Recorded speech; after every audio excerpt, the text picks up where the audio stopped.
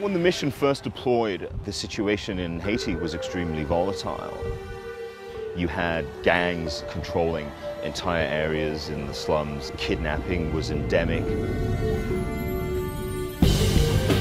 But over the past five years since the mission has been on the ground, we've really seen a marked improvement in, in the security situation. Now the situation is essentially stable. Crime rates have dropped drastically. The mission is training Haitian National Police Force, which is now 10,000 strong and will reach about 14,000 in 2011.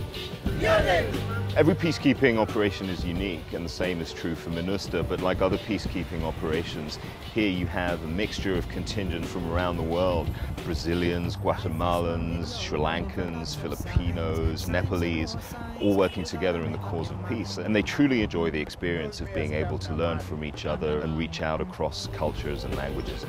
Trabajar con otros ejércitos, como lo hacemos en Naciones Unidas, es una labor bastante gratificante. Al final el objetivo es el mismo, pero las diferencias mínimas obedecen a los tipos de cultura. Y sí es interesante estar con este tipo de acciones.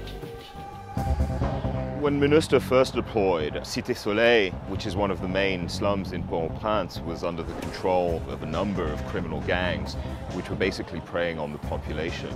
In the Cité Soleil before were uh, a hotspot out of our control. Now we can say that it's under our control. In the early part of 2007, the MINUSTAH Force, under the leadership of General dos Santos Cruz, launched a series of robust operations against gang leaders and really changed the face of Haiti and changed the course of the stabilization process.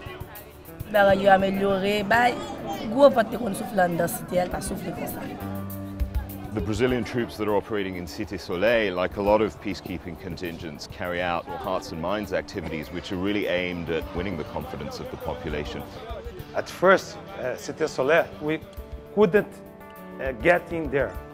And now the people are on the streets. It's a great work.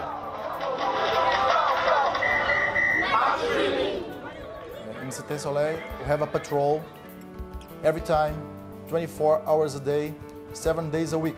We can make a full distribution, humanitarian assistance and medical assistance for the poor people, for the suffering people of Cité Soleil. MINUSTAH, they gave the food with my people. That's what make, make me good in my heart.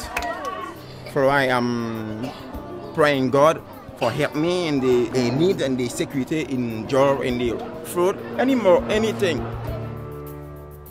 One of the really innovative aspects of what MINUSTAH is doing in Haiti is its community violence reduction program. The CVR program is a pilot attempt to kind of straddle the bridge between intense uh, stabilization efforts and then recovery efforts within communities. What was originally a disarmament program became a community violence reduction program which works in cooperation with security actors in Haiti to look at who's most vulnerable to violence perpetrated by gangs but also who's vulnerable to recruitment. Lem fè yo mvan, bien ke se moun ki mande m se sa yo mande mwen fè, rev mwen se gen yon, yon shop. Up in the hills above Port-au-Prince, there's an absolutely beautiful area called Kenscoff. And there, MINUSTAH, through its Quick Impact project funding, has helped to support a community drinkable water project fact that people now have access to clean water, they don't have to trek for miles and miles to get it, has really brought about a marked improvement in their lives. The work that the peacekeepers have done here has been remarkable. It's a situation that in many ways is beyond the kinds of situations that peacekeeping operations are set up to deal with. I have a very good feeling about Haiti. The uh, security situation is, is getting better thanks to the hard work of military people from yeah. different countries. Bill Clinton was appointed in May as the UN Special Envoy for Haiti. And his main role is really to, to try and help the Haitians take advantage of the window of opportunity that's been provided by MINUSTAH's presence to help change the image of Haiti.